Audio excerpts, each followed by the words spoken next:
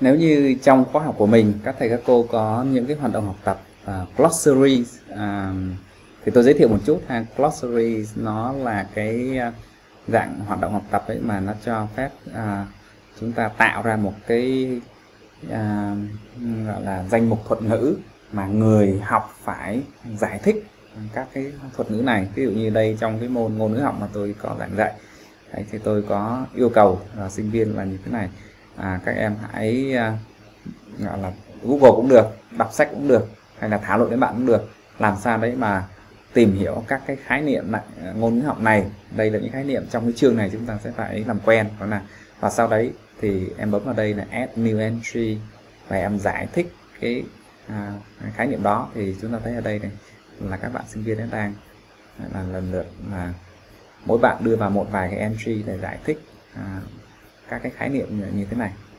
Đấy, thế thì cái hoạt động glossaries này nó rất thích hợp với các cái môn khoa học xã hội mà phải thảo luận và phải tìm hiểu các cái khái niệm nhiều thay vì thầy phải gọi là lecture giảng rất là mất thời gian về các khái niệm này. Thì mình chỉ cần đưa ra một cái danh sách như vậy à, yêu cầu sinh viên là tự gọi là tìm hiểu giải thích các khái niệm đó và sau đó mình chỉ tổng kết lại.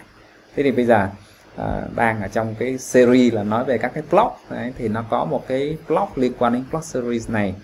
Nó có tên là random glossary entry. Thì để sử dụng cái, cái ờ, uh, block random glossary entry này ấy, là bắt buộc khóa học các thầy các cô phải có cái hoạt động ờ, uh, glossary và nó phải có dữ liệu đúng không nào? Đấy thì ở đây này tôi bật cái bởi vì cái khóa này đó nó, nó có cái hoạt động glossary như tôi vừa mới mở nên các thầy cô thấy đó thì tôi chọn random glossary entries. Block này lên đúng này và tôi phải nó yêu cầu tôi phải cấu hình ok? Tôi bật cái, cái configuration lên cấu hình. À, ở đây nè cái khóa này thì tôi có nhiều cái glossary đó có tới ba cái glossary. Ok tôi chọn cái glossary of linguistics. À,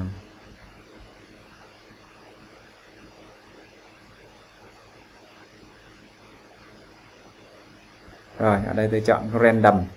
À, tức là lấy ngẫu nhiên à, một cái entry đấy. Rồi uh, when user can add entry show a link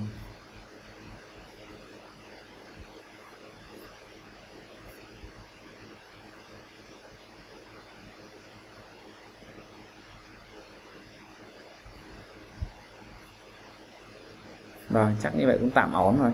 Chúng ta thử xem.